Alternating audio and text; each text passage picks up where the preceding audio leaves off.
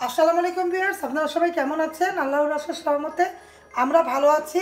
আমি আবারও চলে আসলাম আরেকটি রেসিপি নিয়ে। আজকে আমি তৈরি করে দেখাবো ভিউয়ার্স, অপরাজিতা ফুলের চা। এটা তৈরি করব আমার মতো করে, দেখুন। আমি পানি, পরিমাণ মতো পানি নিয়েছি, মেপে পানি নিয়ে তারপর আমি গরম করে ফুটতে দিয়েছি।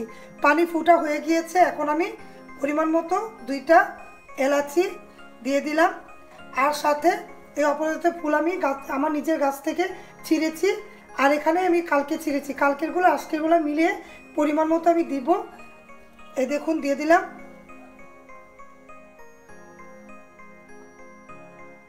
দিয়ে এখন আমি ঢাকা দিয়ে রাখব।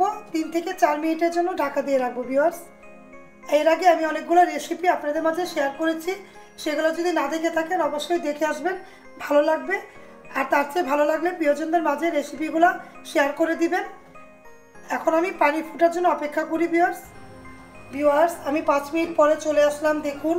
আমার চাটা দেখার জন্য কালারটা এরকম, দেখা যাবে না, হালকা কালারই হবে। আপনারা যদি ফুলটা বেশি দিবেন, তাহলে কালারটা বেশি আসবে।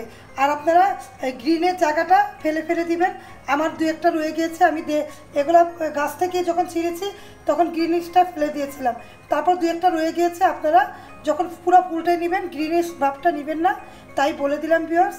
আর আমি এখন ঢাকা দিয়ে রাখব, ঢাকা দিয়ে চুলা বন্ধ করে দিব, তারপরে পরিবেশন করে দেখাবো।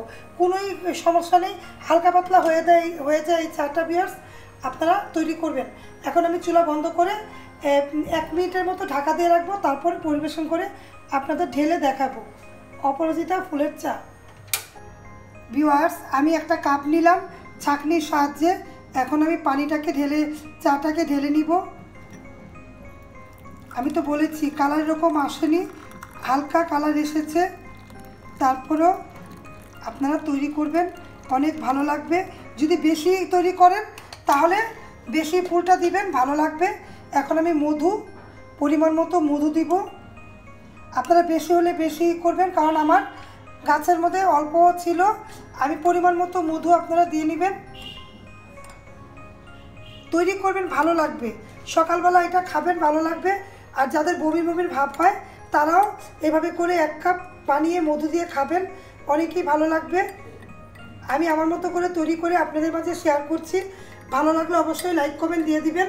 সাথে থাকা বেলাইকনটা অবশ্যই ক্লিক করবেন ভিউয়ার্স আরেকটা কথা আমি বলে নিই ভিউয়ার্স আপনারা পাপড়িটা ফুলটা বেশি দিবেন, ফুলটা যদি বেশি দিবেন, তাহলে কালারটা বেশি আসবে ভিউয়ার্স তাই বললাম, এখন আমি এক টুকরা লেবুর রস নিংড়িয়ে দিয়ে দিব এটার মধ্যে।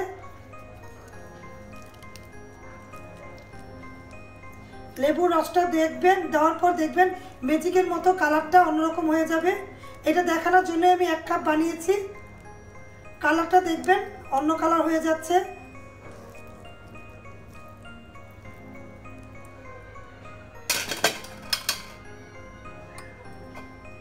দেখুন কালারটা অন্যরকম হচ্ছে। এরকম ফ্রেশ চা আমরা যদি সকালবেলা উঠে নাস্তা খাওয়ার পরে খাই, তাহলে মন্দ না, তাই না ভিউয়ার্স আমি তৈরি করলাম। আমার জন্য, আপনারা আপনাদের, আপনার জন্য তৈরি করে ফেলুন। অনেক ভালো লাগবে। আর আমার এই রেসিপিটা কেমন হলো? কমেন্ট করে জানাবেন ভিউয়ার্স আমি আমার মতো করে লাইট একটা রেসিপি দিলাম আপনাদের মাঝে। ভালো লাগলে অবশ্যই দেখবেন। আর আগেই বারবারে বলছি, আপনার পাপড়িটা বেশি দিবেন, তাহলে অনেক ভালো লাগবে। আমার রেসিপিটা যদি ভালো লেগে থাকে, অবশ্যই লাইক কমেন্ট শেয়ার দিতে ভুলবেন না ভিউয়ার্স আর একটা করে লাইক অবশ্যই দিয়ে যাবেন। আমি রিমনা হোমস্টার ফুড ব্লগ থেকে বলছি ভিউয়ার্স আমি একটু চেখে দেখি। অনেক ভালো হয়েছে বিয়ার্স আপনারা এভাবে তৈরি করুন আর ফ্রেশ করে বানিয়ে খান। আপনারা সবাই ভালো থাকবেন। আমাদের জন্য দোয়া করবেন। আল্লাহ হাফেজ। আসসালামু আলাইকুম।